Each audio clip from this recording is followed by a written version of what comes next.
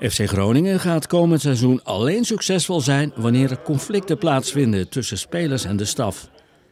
Dat geeft Danny Buis, de nieuwe trainer van de FC, aan in een gesprek waarin vooruitgeblikt wordt op het nieuwe seizoen. De 35-jarige trainer maakt in Groningen zijn debuut in het betaalde voetbal. De oud-voetballer gelooft in zijn eigen kunnen en ziet zijn gebrek aan ervaring niet noodzakelijk als een gemis. Ik heb geen ervaring, dat is een feit. Of in ieder geval geen ervaring op eredivisieniveau. Vier jaar top amateurs nu. Uh, ik ben jong, ik ben leergierig. Ik heb heel veel goede mensen om me heen. Ik ga ongetwijfeld fouten maken. Uh, alleen dan is de kunst, uh, hoe snel leer je van die fouten. dus ja, weet je, natuurlijk zullen er mensen zijn die zeggen, ja, je had beter een ervaren trainer aan kunnen stellen. Ja, weet je, iedereen mag daar zijn mening over hebben. Ik ben gewoon ontzettend blij met deze kans. ik geloof in mezelf. Uh, ik ben ook leergierig. Ik sta open voor, uh, om mijn fouten te verbeteren. En ik sta op, open om uh, de kwaliteit om mij heen om daar gebruik van te maken. Dus nogmaals, ik heb er vertrouwen in. Met de komst naar Groningen keert Danny Buis met zijn gezin terug naar de plek waar hij als speler succesvol was. Ik kom uit het westen, uit de buurt van Rotterdam. maar wij gaan hier wonen. Inderdaad, gezin gaat mee, kinderen gaan mee. kinderen gaan hier naar school, kinderen gaan hier sporten.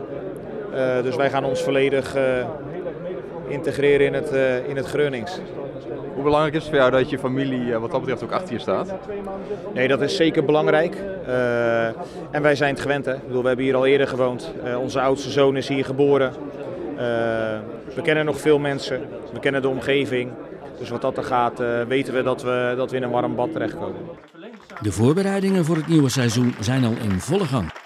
Achter de schermen zijn we natuurlijk al druk bezig. Weet je, ik begin op 24 juni uh, met de eerste training aan het nieuwe seizoen. En in zo'n voorbereiding ga je afspraken maken met elkaar en uh, ga je relaties opbouwen met elkaar. En dan zal blijken in het seizoen hoe dat verder gaat. Uh, dat er conflicten gaan komen, ik hoop het. Want zonder conflicten gaan we zeker niet succesvol worden. Ik hoop juist dat er conflicten gaan komen. Alleen dan is de vraag hoe los je die conflicten met elkaar op. En als daar de intenties goed zijn en je lost het op een goede manier op, dan wordt het een win-win situatie. En wat voor conflicten zou dat dan kunnen zijn? Waar doe je dan precies op? Het kan van alles zijn. Uh, jongens die uh, gaat passeren of uh, kritiek die je misschien gaat hebben op, op dat jongens hun taak niet uitvoeren. misschien wel kritiek vanuit de groep naar mij over dat je een keer een verkeerde keuze hebt gemaakt bij een wedstrijd. Allemaal dat soort dingen. Op een werkvloer moeten er conflicten zijn als je, als je open en eerlijk bent naar elkaar. Alleen gaat het erom, ben je bereid om dat met elkaar op te lossen? En dat moet de insteek zijn. Ik heb liever zoiets van, we moeten het met elkaar doen. En dan moet je soms ook hard zijn tegen elkaar. En dan komt er ook een keer, wat ik net al zei, een conflict. En dan moet je hem oplossen. En we hebben er niks aan als we bijvoorbeeld achter de rug om gaan lullen over elkaar. Want dan krijg je alleen maar meer irritatie en dan, dan bereik je uiteindelijk niks. Ja, het gaat erom dat we als team uh, maximaal gaan presteren. Ik moet zeggen, ik heb daar alle vertrouwen in. Want ik vind, als ik kijk nu naar de selectie op dit moment, hoe die ervoor staat. prima selectie. als we erin slagen om een goede wisselwerking te krijgen met het publiek. En, en dat, dat, kunnen wij zelf afdwingen met de manier hoe we spelen, wat we laten zien. Dan, ja, dan, dan zie ik voor me dat we gewoon veel wedstrijden gaan winnen. Zeker hier thuis. Wanneer is nou de eerste helft van het seizoen geslaagd? Ja. Ja, nee, dat, is makkelijk. Hij is geslaagd als, we, als het publiek en de sponsoren tevreden zijn met het voetbal wat ze gezien hebben. In combinatie met de resultaten. Dus dan we er ook nog eens goed op staan op de ranglijst.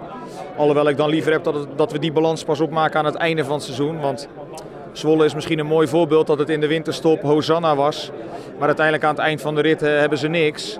En in het voetbal is het heel simpel. Het gaat erom waar je in dit geval na 34 wedstrijden staat. En dat is ook waar jij op beoordeeld wil worden?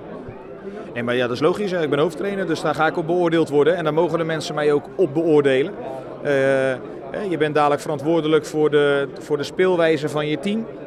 Je bent verantwoordelijk of je wordt verantwoordelijk gehouden voor de resultaten van je team. Ja, zo werkt het in de voetbal. Uh, die verantwoordelijkheid ga ik ook zeker op me nemen. Alleen ja, ik ga er wel alles aan doen dat die twee punten de positieve kant opslaan.